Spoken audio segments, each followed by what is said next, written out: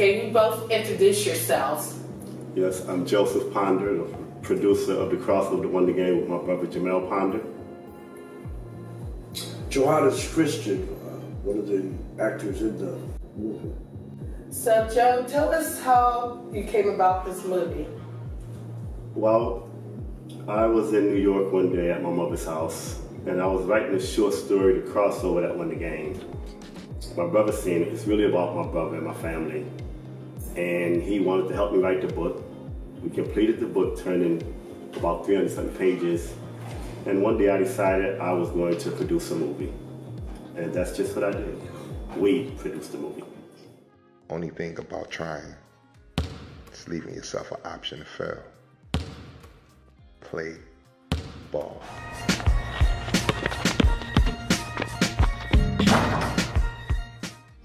So tell us a little bit about the movie. Well, the movie is basically a story that teaches young people about perseverance, overcoming fear, understanding that failure is not the end, of the road, but an opportunity for growth. It's a family-oriented movie. And what role do Doctor play? Dr. Christian plays a blind counselor. We also have Granville Waiters, the seven-foot tall brother who double-handed blocked Michael Jordan. We have Buster Douglas, the guy who knocked out Mike Tyson. We have Larry Jones, former NBA player slash Hall of Famer. And we have Clark Kellogg, former NBA player slash sports commentator. So how did you get everyone involved in this? Well, first of all, I have no fear. So I go to First Church of God Bible study every Tuesday morning. And somebody told me who Clark Kellogg was, who Larry Jones was, and I approached both of them about being in the movie. Then Bishop Mel Griffith introduced me to Jimmy Hayes, who introduced me to Buster Douglas, and from there everything just started coming into focus. So, what's the message in your movie? That failure is not the end of the road, but an opportunity for growth. Man, you a bum. Yeah, you a bum. No Shay, don't even worry about it. The only way to beat your opponent is to own them. And how's uh, had any impact on any of your audience? Have you had feedback from your movie? Very good feedback. And one thing that a lot of people like about it is it's family oriented. And it shows that there are some fathers that are there for their children. One of the issues was the father wasn't there, but eventually he caught the message and he started trying to be in his child's life. And does this um, movie, can you tell us a little bit about how this movie reflects your own personal life? Not so much my life, but my little brother's life. The main character is Shay, which is actually my little brother's middle name. And he was the kid with the low self-esteem, the lack of confidence. Thank think Dad coming to my game, Ma. You are never there for him. But I support him. Damn your money, he needs you. Who didn't have a father figure in his life, so it really portrays his real life. And let's talk about Doctor's character. Doc, you want to tell him? Uh, well, I first of all um, believe that this movie just has an opportunity for uh, families to see uh, how they can best live together and uh, make life a pleasant journey. My part is a small part, but uh, I'm called upon to help to reunite uh, Mr. and Mrs. Ponder uh, after a falling out and he's been thrown out of the house. Uh, and trying to get them to focus on what it is that they needed to do to repair the relationship and get Mr. Ponder back into the house. So tell us a little bit about how, why you got involved in the movie. Uh, well, you know, I've known Joe uh, for a number of years now, when he was first starting the movie, I had the opportunity to read the book. Uh, I've been a single parent, helped to raise my own children, and so I'm always looking for an opportunity uh, to uh, do things that will influence young people. And so I saw it as an opportunity to do just that. So, um, do you have any inspirational messages that you want to tell people about the movie? I believe that um, a movie uh, portrays uh, the kind of values that I believe should have in our in our lives. Uh, I think it fosters family love. I think it fosters positive uh, thinking. Uh, it fosters self-esteem, and it makes room for the fact that uh, that life um, is greater than our, ourselves, and sometimes we're called upon to make really hard decisions. And I think that's the uh, the ending of the movie just really brings that home. That sometimes you have to make real hard decisions and, and make it in a positive way. So tell me um, about the crossover. Uh, different, uh, some of the uh, actors, their characters, those kind of things. We have some great actors from Columbus, Ohio. We have Chip Davis, who plays my father. We have Leslie, who plays my mother. Um, James Buster Douglas, he plays one of the main basketball coaches. We have Granville Waiters a seven foot tall brother who double handed blocked Michael Jordan in the NBA. He plays a high school coach and a college recruiter. You have Clark Kellogg, former NBA player. He plays a recruiter, a college recruiter. You have Larry Jones, who's a former NBA player slash Hall of Famer. He plays a high school coach and an announcer. You have James Buster Douglas, the one who knocked out Iron Mike Tyson. He plays one of the main basketball coaches. You have Leslie Watts, who plays my mother in the movie.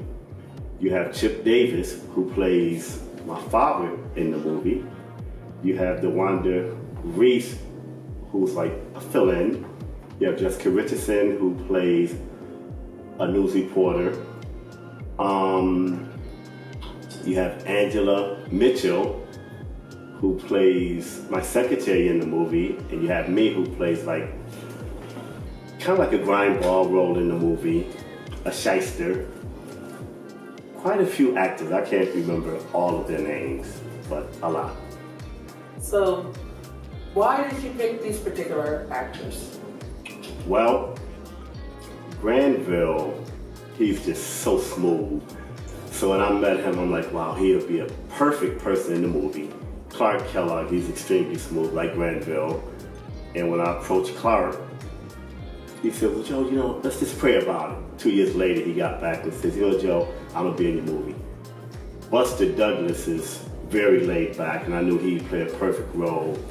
Dr. Christian is real smooth, so, and he has character. So most of these people I picked because I knew they had character, and I felt like they would bring out the best in the movie. So how long did it take from the concept of your movie to the end product? It probably took about a year, about a year. What are some of the challenges you come across Oh putting that movie together? Um, a lot of the time, the actors were so busy with their other shoots and so forth, they couldn't show up, which would like throw the whole set off. Um, and finances. We had a big problem um, coming up with the money, but by the grace of God, we was able to do it. And with the help of people like Dr. Christian, Mr. Butch Peel out of Wilmington, that really helped out a lot. And then I can't forget my brother Jamel Ponder, who is also part of this movie, who produced it with me. He contributed a lot of money also. Okay, doctor, can you tell me what made you get involved? Like, and some of the things that you've seen challenges for Joe. Well, I think I got involved because um, I had met Joe through another friend uh, because of his short stories. And I do a lot of public speaking and like to give other people an opportunity. So uh, we uh, began to work on a project that I was doing in Lima, Ohio. And uh, he kept sharing about the movie and sharing about the movie. My intent was just to be somebody behind the scene. And so, uh, you know, I, I began to give him, you know, little small amounts of money uh, as he would ask and or, or talk about what he needed. Never dreamt it'd be any more than that. And uh, the more I got involved with giving, I kept hearing more about the movie. And uh, again, I just believe in uplifting family and uh, anything that we can do to give a positive spin on our young folk and give them something to uh, to look up to. And uh, the more I saw the movie and the more involved I got, um, uh, it was just a given. And uh, you know, um, he, Joe was really a compassionate person, and uh, just felt like if he just could get over the, the hump, so you know, you just do what you're gonna do, and then of course I met Butch and no way in the world I could match what uh, Mr. Peel was doing, you know, but uh, just wanted to be there for, for John. I, I have uh, had a lot of people help me to get where I am in life and have had some great platforms to, to speak on nationally and internationally. But I'll, I'll never forget that I never did any of that by myself. It's always been because people have seen something in me to push me to where I've gone. I just want to be that kind of person to help push others. And at the moment, it happens to be Joe. He, he'll probably tell you that sometimes my pushing comes with a, a heavy price because I, I really push hard. He does. So is that uh, make you more creative by having someone like him pushing you? It does. It does. Consider him like a mentor? He's definitely a mentor. Yes, he is. And why that's important to you? Well, because a lot of times there's things I don't know that he teaches me, and I'm not one to get discouraged much, but I do have my moments, and Doc is the one that will kind of like push me a little further, as well as Mr. Peel. So that extra push really helps me sometimes. So I'm gonna um, go circle back to your movie and let's touch on some of the. Uh, you said you're working on another movie. Let's Right. talk about that. Okay, so we're gonna be filming part two because when you see this movie, you'll notice that we left a nice cliffhanger. So you know that it's movie number two. So we're gonna do part two here. We might do a part three. Um, and my desire is to shoot a movie of Dr. John J. Christian, you know, his life story. And then me and Buster Douglas been talking. So there's a movie that I created in my mind with Buster that I want to shoot. And then I write a lot of short stories. So my short stories, I pretty much want to turn them into TV series. Like back in the days, we had the after school special. So I write these short stories.